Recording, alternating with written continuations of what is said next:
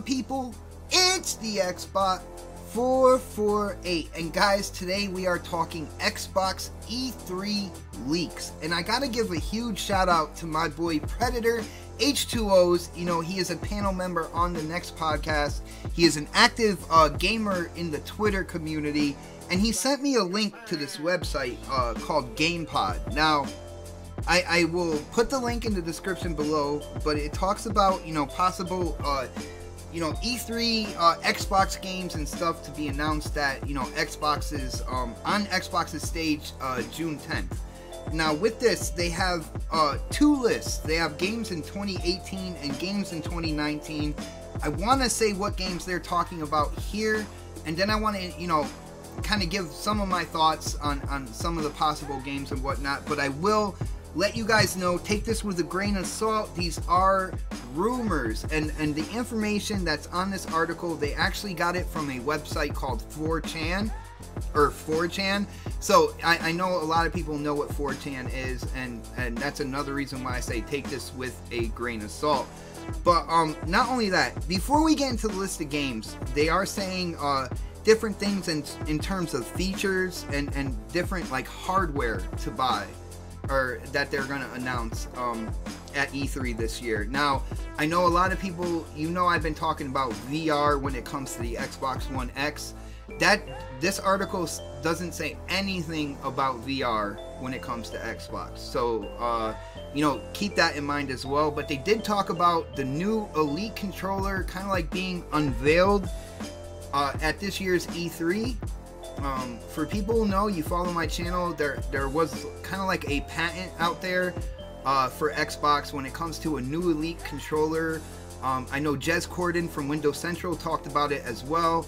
Uh, being able to switch out the, the triggers, uh, you know, changing up the R trigger, the, the right and left triggers on, on the new Elite controller or whatnot. And you do know, uh, kind of like my displeasure when it comes to the Elite controller to begin with. Uh, there are some kind of like, I would call them defunct uh, buttons, such as the bumpers and whatnot on the, the first Elite controller. And I believe they need a redesign on the Elite controller um, to, to kind of like take care of those issues. Uh, whether it was the rubber peeling off or, or the the left bumper, right bumper uh, buttons not working. They need they needed to do something, and a redesign sounds like it'll be right down that alley. Now, the second thing is new Xbox One X colors. Now, if you don't like a uh, a black console, if you want a, a, different color, I believe they're gonna announce um, new colors to the Xbox One X which kind of makes sense. I, I, I believe this um, this could definitely be possible because, like I said before, we are dealing with rumors here. But let's get into what you guys want to hear, and that is games. We will start off with the 2018 list. Now, first off, Forza Horizon 4, um, set in Japan on Game Pass. Uh, you know, on release date, um, coming fall of this year.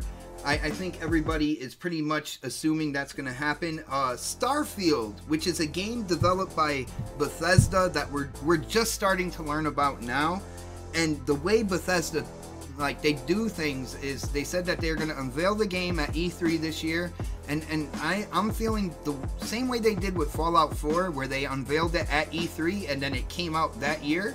Um, they're going to do the same thing with with this new IP, and um I guess you know this this 4chan information in this article states that it's going to be shown on Xbox's stage. So that's that's interesting right there. Um, Scream Ride 2 is going to be unveiled and come out this year. Going to be unveiled at E3 and come out this year. Now I know there are some people that didn't like the first Scream Ride. I thought it was too expensive for what it was. There was there was certain issues, certain things that could be done. I thought there was potential in this game, and it's good to see a sequel coming out. So hopefully it, they go through and they they make this game um, more than what the first one was, and possibly for cheaper, is what I'm hoping. Either that, or they have to add a lot more content than they did in the first Scream Ride. Um, then we hit, you know, more things that we kind of know about. Crackdown 3, you know, in Game Pass day and date. Um, uh, let's see, multiplayer beta uh, and then 2018 season is what it states here. So I'm not I'm not sure if they're saying that the multiplayer beta will be out this year and uh, Crackdown will possibly be delayed until 2019. Although in the 2019 list, they don't have the game Crackdown. So maybe the beta will come out like around E3 and then the game will launch during um, the fall of, of 2018. I, I don't know. It's it's pretty interesting. Um, Shadow of the Tomb Raider, with which has a marketing deal with Xbox, gameplay demo, uh, Xbox Game Pass, and will release fall of this year. Uh, I don't think that's a big surprise. Sea of Thieves, uh, new content trailer, Xbox Game Pass. Um, and, and, I think what they're going to do here, if they do show Sea of Thieves on their stage, they're just going to really show the new content, the new enemies, the new uh, possibly sea monsters and stuff like that. I'm not sure if it necessarily needs or even kind of like deserves that. I, I, want E3 to really focus on new things, and we've seen Sea of Thieves time and time again when it comes to Xbox's E3. But then again, it would also be interesting to see the new content before it comes out.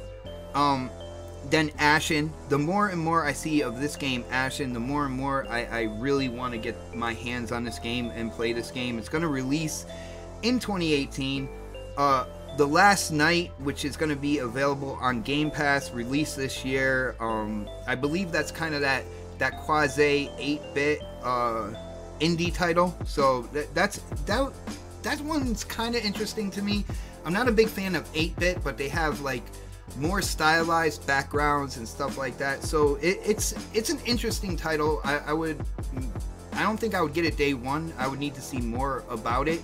Possibly uh, watch a couple, you know, chunks of the game and, and, see if it's something I can get into or not. Um, Below, which is said to come out this year. Uh, for if if if you haven't been following like Xbox One news since 2013 Below was uh, announced way back at the launch of the Xbox One, and I have gone on record saying that it's been way too long. I have like no interest in this game anymore, and I, I I'm pretty sure I would not pick it up at least day one. But the more and more I see it, it does it does look like an interesting uh, uh, smaller title. It, it has that kind of like original Zelda feel, looking over the top you know looking from the top down on your character um progressing through through mazes and dungeons dungeons and stuff like that so it, it looks interesting i just it to me i've waited so long that it doesn't even matter to me anymore of course madden um, which has you know marketing rights with xbox we're gonna see that on their stage uh, minecraft a, a content update supposed to be released of fall this year. I know they're supposed to put out that um kind of like super graphics update where they improve the lighting, the way the water looks, stuff like that on the Minecraft game itself. Something I've been excited for. But then again, that was supposed to come out last year. So I've been waiting to hear any type of news or information on when that update is actually going to come out. This article is stating it's going to come out basically in the fall of this year. And i feel like that's that's kind of late. I'm a little upset about that. I was hoping it would come out earlier. Um let's see battlefield 5 metro exodus and then something really interesting is banjo kazooie anniversary if this is true if they're coming out with a banjo kazooie anniversary game this year I want to see a complete reworking of this game in graphics, uh, gameplay, and whatnot. Really bring it up to this generation. I will be really excited for that. Again, if this is true. Now, 2019, um, just going real quick, uh, Borderlands 3, Ori and the Will of the Wisps, a game called Electric Madness, which is a racing game, and they have it slated to go into Game Pass as well. So I'm thinking that might be that uh, kart racing game by Turn 10 that they're kind of introducing into the, the Forza franchise. So that would be interesting if that's the case. Splinter Cell Reboot Open World. First on Xbox One, fall of 2019. Now, I'm not sure how I feel about open world. Um, I don't think every game needs to be open world, and that that might be a thought that's in the minority right now but there there's certain nuances and, and stuff when it comes to a more um, directional game than open world. But Splinter Cell reboot, Anthem coming out fall 2019. Here's something interesting: Halo Genesis, uh, which they state here as a reboot. And I don't think you need to reboot the Halo franchise, and I and I feel like they have a a story moving forward that they they want to tell, a saga.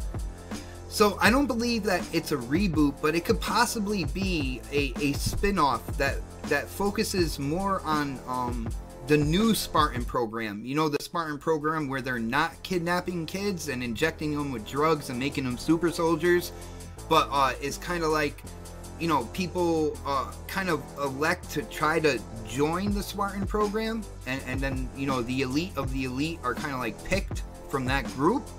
Um, it, it, would be cool to see a spin-off focusing on that uh, that program as opposed to the earlier Spartan program where they were kidnapping kids and stuff like that. So that would be interesting again if true. Now they have Cyberpunk 27, 2077 coming out 2019. And then the last one they talk about is Joanna Dark, um, a third person shooter, uh, game teaser and trailer, and set to release in 2019. Now, um, that might be another one of the worst kept secrets is that they've been fiddling around with uh, kind of like rebooting Perfect Dark. And, and for people who don't know, Joanna Dark is the main character in Perfect Dark. And I, I think it's just, it's inevitable that it's going to happen. Do I think it's going to happen and release in 2019, basically next year?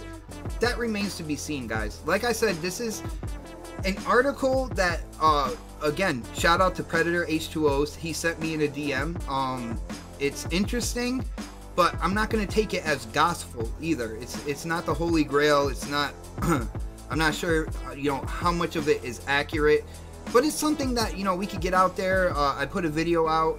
Definitely hit up the comments. I want to know what you think about these games. Uh 2018 2019 a halo called genesis um, which could possibly be a spin-off coming out in 2019 and also I believe with the Halo Genesis it talked about a multiplayer beta that would be coming out in 2018 so a multiplayer beta coming out this year and the game releasing in 2019 um, that sounds about right to me. It's something I could get excited about. I'm a huge fan of, of Halo 5. I love the multiplayer for Halo 5. So as long as they follow kind of like um, that recipe for the multiplayer, it would be it would be really cool to have a, a, a new Halo, at least a beta, to get into this year.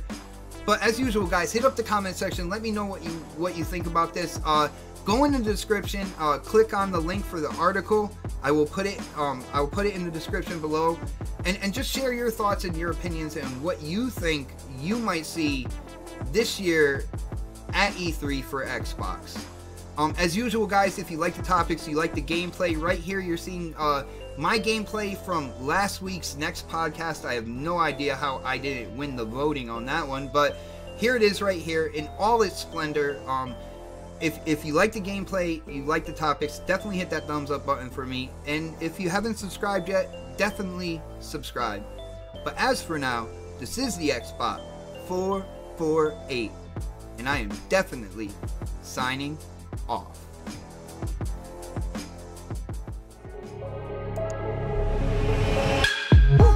Trying to get demons up out of me. Turn to a beast, eat your arteries. Deceasing opponent so properly. Unleashing the dark side, what got to me. We come to take this shit over.